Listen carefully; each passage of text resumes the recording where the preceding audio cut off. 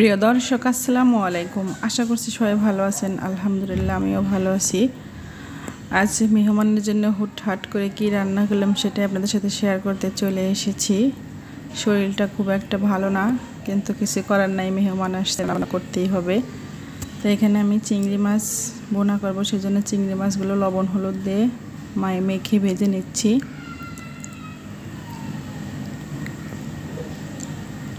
ভেজে না হয়ে গেলে এটাকে তুলে নিব। ভাজা প্রায় শেষ, এবার তুলে নিচ্ছি। তুলে নিলাম। এবার ক্যামেরাটা বন্ধ ছিল সেজন্য সব মশলাটা দেওয়া টেওয়া ওঠে নাই আর কি। সব রকম মশলা, কাঁচামরিচ, পেঁয়াজ কুচি, টমেটো দিয়ে এবার মশলাটাকে একটু কষিয়ে নিব। কষিয়ে নেওয়া হয়ে গেলেই এর মধ্যে দিয়ে দেবো ভেজে রাখা চিংড়ি মাছগুলো। এবার চিংড়ি মাছটা দিয়ে কিছুক্ষণ নেড়ে চেড়ে মিশিয়ে পরিমাণ মতো পানি দিয়ে দিব। বেশি পানি দেবো না, অল্প দিলেই হবে। তো এটা হতে থাক। আর এই পাশে আমি মুরগি রান্না করার জন্য কড়াই বসিয়ে দিয়েছি। চিংড়িটা অন্য চলে দিয়েছি। এটাতে আমি মুরগি রান্না করে নিচ্ছি। আর মুরগিটা হচ্ছে, কী যেন মুরগি? টাইগার মোরগ টাইগার মোরগ।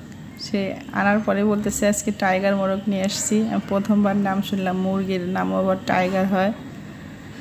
তো ওটা কষাতে কষাতে এটাতে একটু কী অবস্থা দেখি, এটা হয়ে গেছে, নামিয়ে নিলাম। মুরগিটাতেও ঝোল দিয়ে দিয়েছি। তো মুরগির রান্নাও প্রায় শেষ, এবার একটু মশলার গুঁড়া দিয়ে দিচ্ছি। আর আমি এখানে কিন্তু লবণ টেস্ট করতে পারতেছি না।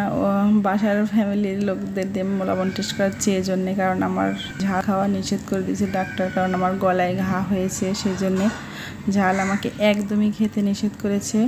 আর এটাতে আমি গরুর মাংস রান্না করার জন্য গরুর মাংসটা রান্না করে নিচ্ছে আর কি।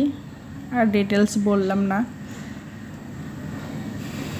খুব ভালো করে কষিয়ে নিব, ঢাকনা দিয়ে ঢেকে দিব। ঢাকনা দিয়ে ঢেকে কিছুক্ষণ পরে খুলে নেড়ে চেড়ে দিচ্ছি। কষানো প্রায় শেষ। অনেকটা সময় কষাইছি, প্রায় দশ মিনিটের মতো কষানোর পরে আমি ঝোল দিয়ে দিলাম পরিমাণ মতো।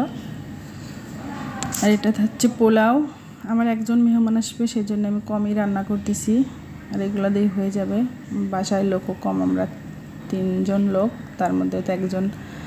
আমি তো খেতেই পারব না জাল। এটা দিয়ে হয়ে যাবে। সাদা ভাতও রান্না করব। তো গরুর মাংস শেষের দিকে এবার এর মধ্যেও কিছুটা মশলা, গরম মশলা গুঁড়া দিয়ে নেড়ে চেড়ে মিশিয়ে দিলাম। এই মশলাটা দিলে হয় কি, একদম খাওয়া পর্যন্ত ঘ্রাণটা থাকে। খুব ভালো লাগে খেতে। এটাও নামিয়ে নিব এখন। নামিয়ে নিয়েছি। এই তো ফাইনালি দেখুন, আর ওই পাতিলটাতে আছে মুড়িঘণ্ট ওইটার ভিডিও আমি দেখাতে পারিনি, আর এটাতে আছে পাশে ছোট মাছ, চচ্চড়ি, বেলে মাছ, আর কি, চিংড়ির পাশেই তো ভিডিওটা কেমন লেগেছে অবশ্যই জানাবেন, আজ এই পর্যন্ত সবাই ভালো থাকবেন, আল্লাহ হাফেজ।